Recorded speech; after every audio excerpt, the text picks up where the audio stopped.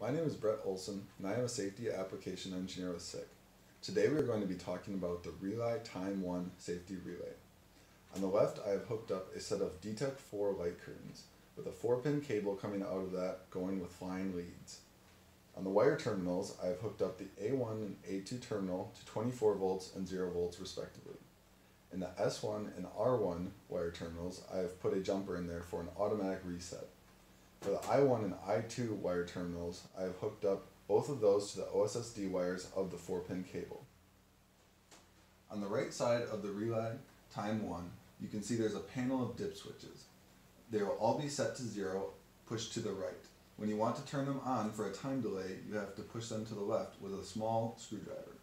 You always have to have the CS dip switch pushed to the left.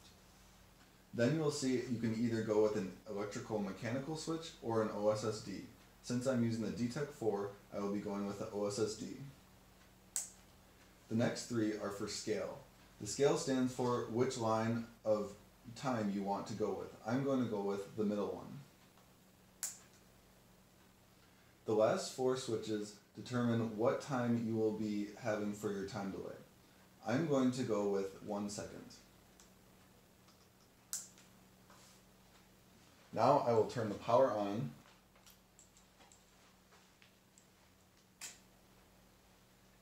So the light curtain is now on and everything is green. When you enter the safety field, the enabling switches go off immediately and one of the safe outputs is delayed by one second.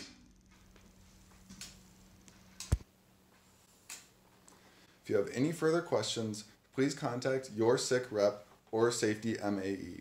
Thank you.